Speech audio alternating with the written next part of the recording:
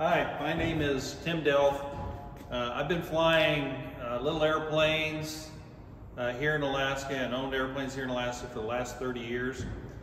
Uh, right now we have a raging windstorm going on outside. Uh, we have winds that are uh, up to 65 mile per hour and I've heard that they've been blowing even stronger than that. And every time we have a windstorm come up, I get people who ask me how I, I, tie down around the strut. So that's the whole reason I'm making this video.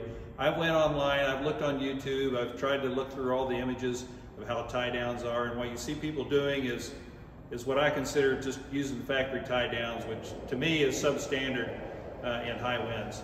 And so I want to bring out a couple points today uh, to show you how I do it here. Uh, that's my disclaimer. You know, if you're tying down your own airplane, you're responsible for it. I'm not going to be responsible for how you might be tying down your airplane. And so the purpose today is just to show you how I do it. Uh, a couple of things that uh, I've experienced here in Alaska is uh, the type of tie downs that are used. Some don't work very well at all. Uh, for example, there is a type that is uh, just screws into the ground, like I call it a dog leash type of anchor that's not effective. It'll just spin right out.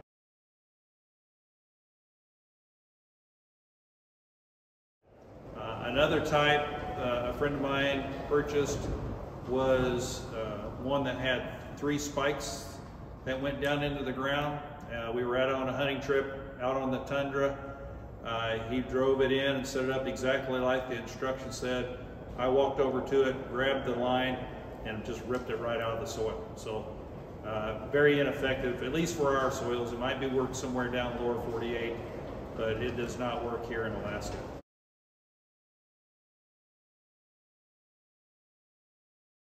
The only two uh, type of anchors that I've found that work here in Alaska, one is what I call the split washer type. That's on a, a steel rod and you actually screw it into the ground and uh, it goes down 12, 24 inches. I mean, you can get them you know, for power lines that go, you know, eight feet almost. But, but most of them that you see the airplanes, I think Sporty sells a kit that's got some that are about 12, 16 inches long, 18 inches long. Uh, that's the kind of kit I carry around uh, in the 182.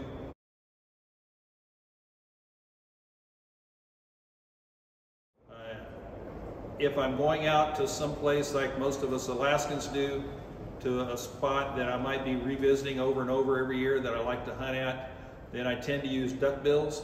Uh, the only issue with duckbills are they, once you put them in the ground, you're probably not going to get them out unless you actually dig them out. And what those are is you drive them in the ground, it's got a little metal piece, and the, the cable is uh, arranged in such a way that when you start pulling on the cable, they turn sideways and create an anchor uh, below the surface.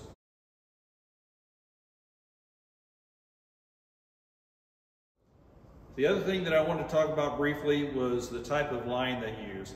I would not use any type of poly line uh, because poly tends to slip and so I only use nylon line. And what I use is this half inch braided nylon.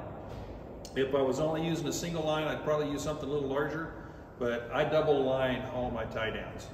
Because like I said, we get winds here pretty regularly over 60 to 70 mile per hour multiple times every winter.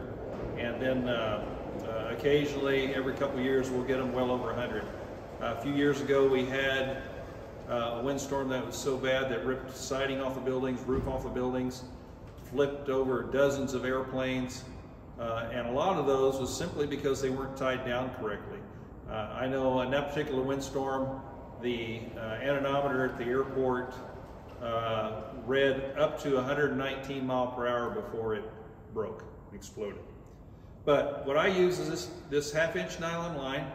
It has a breaking strength of a little over 5,000 pounds, uh, a working load a little over a thousand pounds.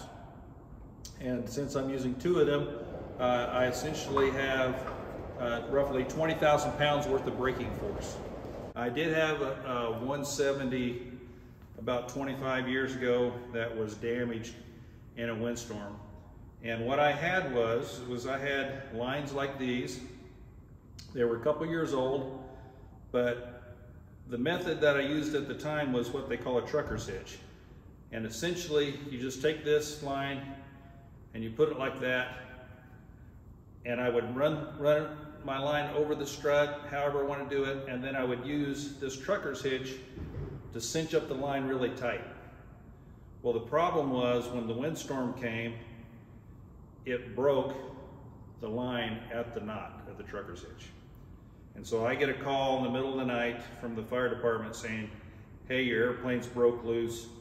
It's turned over. Fortunately, it didn't go all the way over, but the, the opposite wing stopped it from going on over. We got there uh, early enough, or at least the fire department did, to put a strap around the flying wing and get it back down and tied down.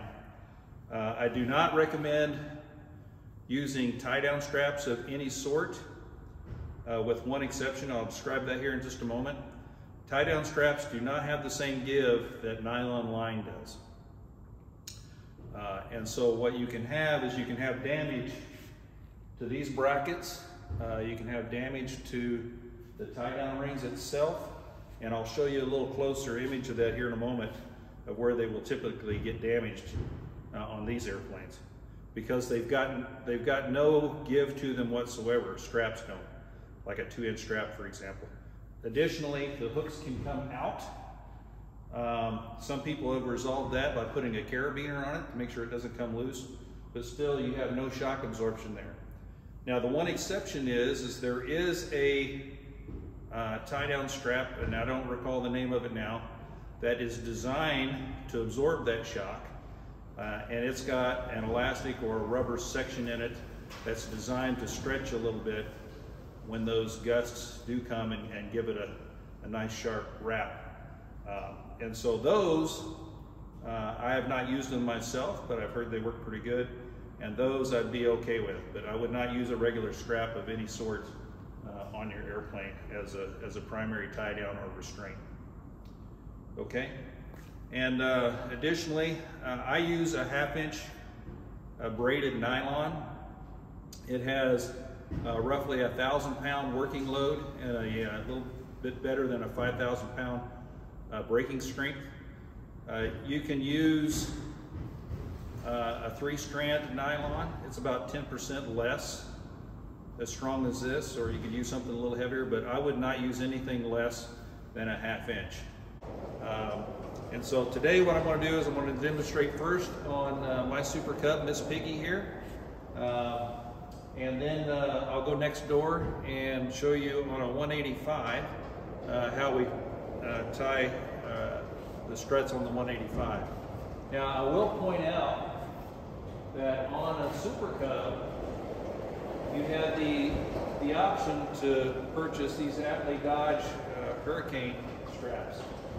And this is by far the best method to tie your uh, any type of tube and fabric Piper airplane, Piper Cubs or Pacers or anything along that line, because this actually goes up around the spar. And so you're, you're not going to damage this. If this if this comes loose, you've got more problems than, than what you would have otherwise. This is the factory option. There are some risks and hazards with using this, and I'll point those out uh, on a close-up here in just a moment.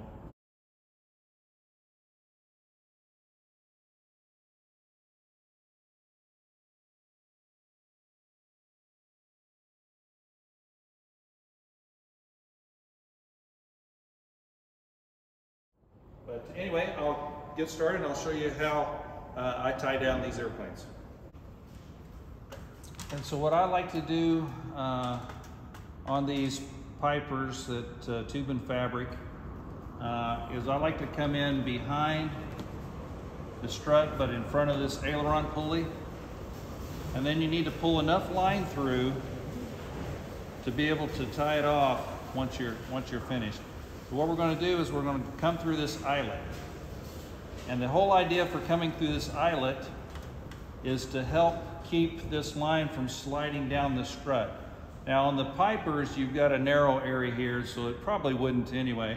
But on a Cessna, this is all one straight tube. And I did see a Cessna once where somebody had just wrapped it around but hadn't secured it up here through the eyelet or the factory tie down. it slid down the strut about halfway, then a good wind came along, buckled the strut, bent the wing down, uh, damaged the fuselage. And so make sure, the most important part is to, is to secure it up here somewhere, but we're not gonna put any stress necessarily on this tie down. It's all gonna be right here on this strut. And so I'm gonna come back around again the second time through that same gap. I'm gonna come down and I'm gonna cinch it up tight. I'm gonna pull this uh, line that's to the anchor up pretty snug, but I'm gonna leave enough line to where I can grab this line, twist it counterclockwise to form a loop. See that? So I've grabbed it, turn it counterclockwise, and I've formed a loop. I'm gonna take the running end of this line, I'm gonna run it through this loop. I'm gonna try not to have too much extra line here because um, once this cinches up, you're, you're not gonna be able to draw it up any tighter. Now I've brought the running end through this loop. I'm gonna take it back around and similar to kind of like a modified bowline is what I would call it. You're gonna come through that same gap in that loop and you're gonna cinch everything down and it's not gonna go anywhere. So now you've got your line secured up there. It can't slide down the strut. It's not putting any pressure really on this tie down and it is not gonna go anywhere. And I do uh, usually two ropes if I'm storing the airplane for a long time and I know that I'm not going to be available um, or I'm traveling, I'm not going to be here to check on it, you know, a couple of times a day. And then I take this extra line just to make sure I lock it in and I come through and I, and I put it through that same loop again. Now, this can slide up and down on this line right here but it's not going to go any further than that knot. So really all you're doing right now is you're just securing the running end, the tail end, so it's not blowing around and, and hitting the airplane. Or if it's really long, getting frozen into the ground or into the snow. You're just kind of securing the loose ends of this line at this point. And that's it. Now the beauty in doing it this way is it's like any other bowline. This could be out there getting yanked and, and, and snapped you know, for days in really high winds. And it's, it's really easy to untie. That's the beauty of doing it this way. And so basically you just unsecure the loose end of the line, the running end of the line.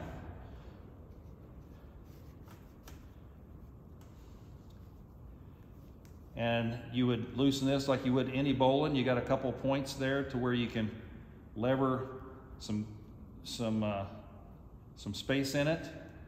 And now you can pull that line out very easily and just undo everything. So now what I'll do is uh, I'll go through uh, over into the hangar next door and I'll show you how uh, I do it uh, on my Cessnas here in Alaska as well.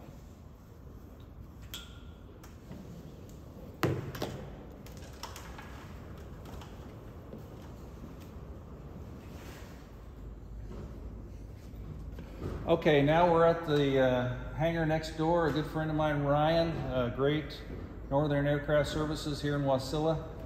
Uh, he has loaned me his 185 because my 182 is sitting out in the windstorm right now. And it's dark outside, so I want to be able to show you how to do it this way. So you can see what I'm talking about uh, on the Cessna wing struts. Those are one straight tube. So this line could easily slide down if you didn't secure it up here somehow. And so there's a couple different ways to do this. Uh, you can do it just like I did on the Super Cub earlier. You can bring yourself enough running line down to be able to tie it. You're going to bring the factory tie down loop out and you're going to run the line through this factory tie down. And as you can see, that's, that's a pretty flimsy little tie down there. And it's got not so sharp of edges, but it could put a wear point on the lines pretty easily in, in high winds. And then you're going to go back around again for the second time. And now you have the running end of the rope, you have the anchor end of the rope. And just like on the Super Cub, you're going to grab this line. You want to be up fairly high so you don't have a, a lot of space down here between the knot and, and the strut. But you're going to grab this line, you're going to turn it counterclockwise and create your loop. Once you've done that, you're going to run the running line through your, loop, just like that. And then you're going to come back around this line through the loop and back down and, and cinch it down. And just like on the Super Cub, that line is not going to go any further than that. And there is structure that goes up to the strut, a bracket that comes down through the center of this strut. So you've got some strength there. And then you can uh, go ahead and secure this line just like we did earlier by creating a loop and then another loop up high and cinching it down to secure your loose end here so it doesn't go too far. You can actually make this a little tighter up, up closer. So if, if for some reason that knot did come loose, which it will not, but if it did, now it can go no further than, than that right there. That would be the furthest it would go. Okay? All right. And uh, there is another method. And this is the method, I don't use this method on my airplane because I put two, two lines on it. And what I do is, instead of coming back around the strut, I go around the line and back over the top, like this. I like that because it tends to keep it a little, little tighter. And so now I can make my loop. I can come through the loop just like uh, before, around, back through it again, and secure. Secure the knot. Okay. And then what I do is I come around the backside first on my second line when I put it on the wing. And so now if you want to loosen it, you just pull some slack in those in that knot, pull it out, and you're ready to go. So thanks for watching. This reason I, I made this video is every time a windstorm comes up, I keep getting asked how I tie around the strut. And so I thought I would do a video to demonstrate that.